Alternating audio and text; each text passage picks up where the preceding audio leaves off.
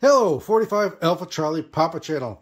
And today, uh, we're just going to take a quick look at how to tell whether a Webley you're looking at, or maybe you've purchased and don't know, uh, maybe you're looking at it online and the seller doesn't know, they're saying it's unshaved, but it ends up that it is.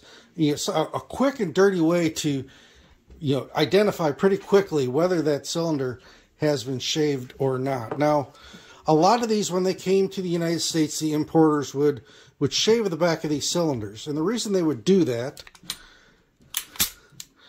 is so that you can use something like a 45 auto rim in it. And that would fit in there. And you've got uh, room there in the cylinder for the 45 auto rim.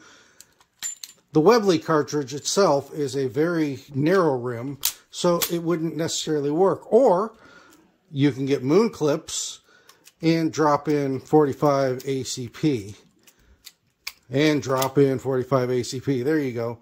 And that would, uh, you would be able to shoot 45 ACP through these. Now, full house uh, standard ball 45 ACP far exceeds the proof on these guns. So a lot of these, you know, people just went out and bought 45 ACP, shot them through them, and over time these guns got loose or or blew up on them. So it's not recommended to just shoot full house 45 ACP through these.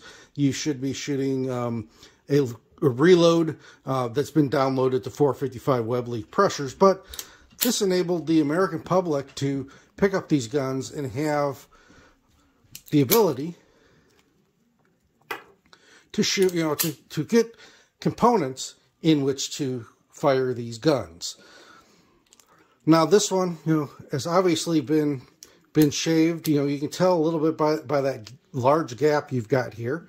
Um, you can also tell, go ahead and open this, get this, there we go. You can see the serial number there, and the bottom of the serial number, uh, the bottom of that has kind of been shaved off. So that's an indication that these have been shaved. Another thing to look at is on the Back of the cylinder here. Now this one's pretty obvious. You've got some tooling marks and stuff here showing that it's been turned. Um, uh, sometimes you'll find a ring at the bottom of the star here uh, where they turned it, but they didn't go all the way next to the star. So that's an indication. Uh, but you know, sometimes you might find these you know online, and the sellers are telling you, "Oh, it's unshaved, it's unshaved," or you, you find them at a, a, gun show. Oh, yeah, that that's untouched. That's still 455 Webley. Um, quick and easy way just to remove all doubt because sometimes that serial number was stamped a little high on there or they're a little small so you don't get that shaving of that serial number. Uh, sometimes they do a really good job of smoothing the back of that up so it's really not that apparent that it's been done. Uh, but we've got one here. We've got a Mark one here that is still in 455 Webley. You notice your, your gap here is not as big, but the and if we look at the serial numbers here, if we can get those in focus, because this is serial numbers on this are pretty small. We don't have any, we've got full serial number on there. You can read the, read the whole number. But the biggest thing is look at the back of the cylinder.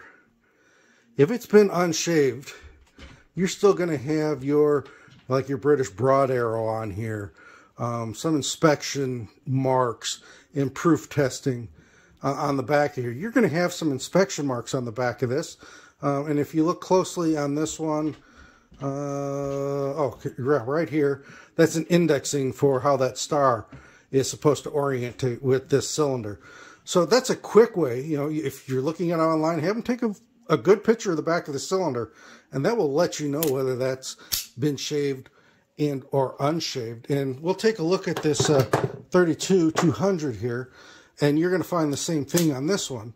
You know, they never shaved these, so you've got stampings on the the bottom here. Uh, just kind of you know, so you know that you know that one has has been untouched and unshaved. Now you find these 32s, you're not going to have that issue with those. They didn't shave these. It's the 45s that they they shaved. But just thought I'd give you a you know quick you know inspection. You know, open it up and take a look at it. If you don't see those marks, it's been shaved.